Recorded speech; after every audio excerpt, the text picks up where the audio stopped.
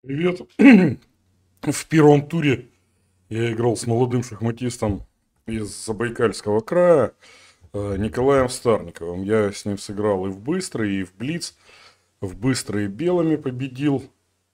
Ну, там в упорной борьбе в Каталоне. А в блиц в Волжском гамбите черными. В этот раз Николай решил сыграть со мной Е4 и после c5 вышел в закрытый вариант сицилианской защиты. Здесь Чапаринов рекомендует d5, ед, конь d4, но я не такой, э, ну, в общем, это, эту линию не успел, в общем, еще как следует изучить. Помню, что так играть надо, но пришел к выводу, что подумав за доской, пришел к выводу, что g6 ход плохим быть не может. И возникла известная позиция закрытого варианта сцилианочки. Основная идея черных здесь ладья b8, b5, b4, идти ставить мат. Я пока пошел конь d7, чтобы на слон e3 ответить конь d4. И вообще не дать ему хода d2, d4. А на g4 сыграл немножко неудачно.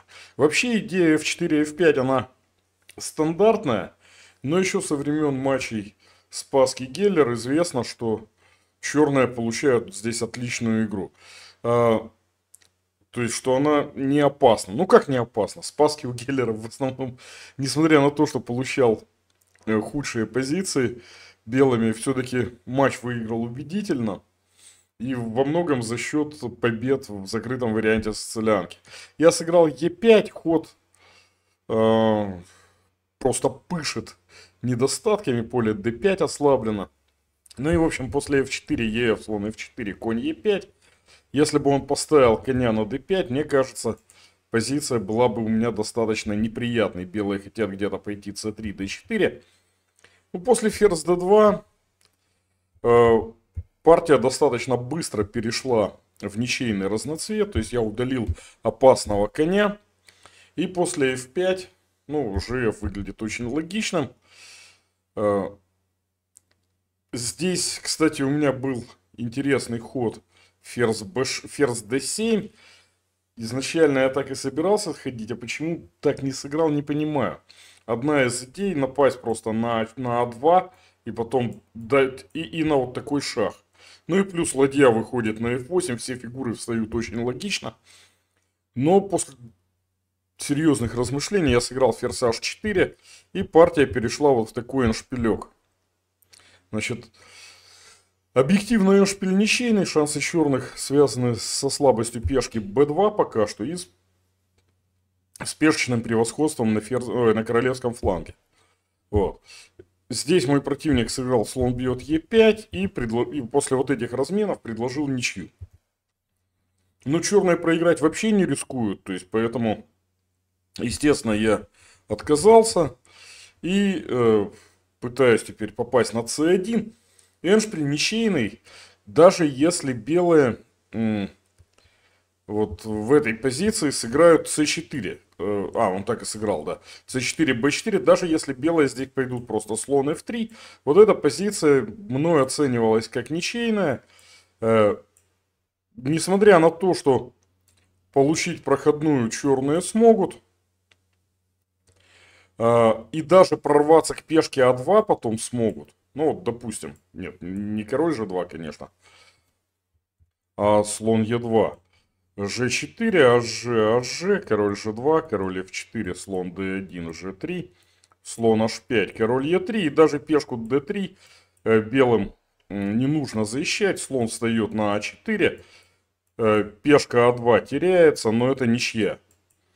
Потому что слона с а4 не сбить никакими ковришками, а как только черный король идет проводить пешку g3, белый слон начинает стоять и протирать дырку в диагонали Е8А4. Вот. То есть, но э, последовало неаккуратное d4, и я понял, что отказался от ничьей не зря. Объективно позиция все еще ничейная, это стойка у белых. Но вот в этот момент мой противник сыграл вдруг слон d1. Ну, понятно, что слона надо держать на d3. И, к сожалению, черный король не может проскакать к пешке а2. А если он туда проскакивает э, с помощью сдачи пешки d4, то оценка позиции как ничейной э, не... Оценка позиции как ничейной не меняется. Вот.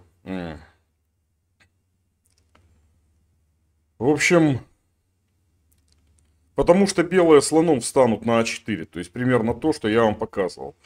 Но в цейтноте было сыграно слон d1, и после d3 у черных уже выиграно.